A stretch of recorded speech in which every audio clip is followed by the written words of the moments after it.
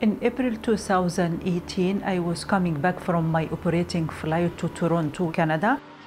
In arrival to Dubai, I been surprised. It was about seven Emirati intelligent officer was waiting for me with one Emirati lady. And they took me, as soon as they got me, they took everything with me. I'm talking about my bags, my devices, and they start asking me a question in the airport for about two hours.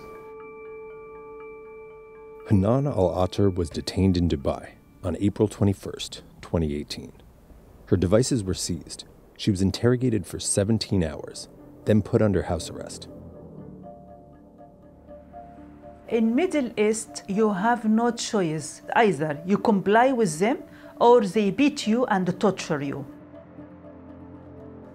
Then they took me to my house, bl- blind me and handcuff me.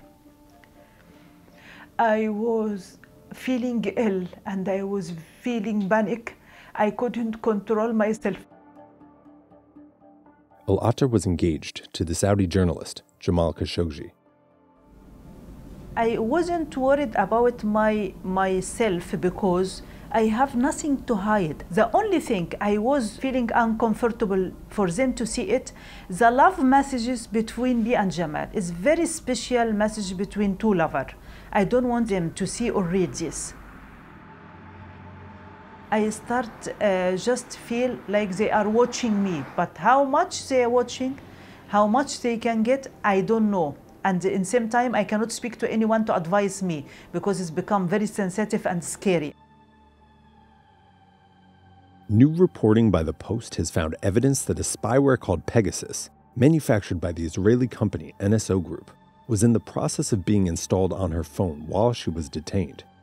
Forensic analysis by a Citizen Lab researcher identified the exact moment that a unique URL connected to Pegasus was entered into her device. So basically, what I did is I analyzed all the available data on uh, two Android phones and, and one laptop uh, belonging to Hanan. He told Elatr recently what he'd found. The scene was filmed by the PBS program Frontline and Forbidden Stories for an upcoming documentary. It appears that there were two separate links to the Pegasus spyware that were actually opened. In other words, uh, the infection process for the spyware was initiated at least twice on one of the devices. And one of the dates of the initiation of the, of the infection was uh, April 22nd, which uh, I understand uh, on this date, uh, Hanan uh, was, was in custody and her phones were removed uh, from her. So she was not, uh, as I understand it, using uh, her phone at this time. He confirmed to me when I was with them in a detention point, they tried to use all spying material and technology to getting and to make sure to continue watch in my devices, basically because of Jamal. So someone was sitting with the phone and they typed in you know, the first character H, then T, then T, then P, then S for HTTPS. Then they typed in the name of the website. Um, and it, they made a couple typos actually while they were doing it, which tells me it was done manually. Um, it wasn't copied and pasted, it was actually someone sitting there with the keyboard uh, typing the link into the phone.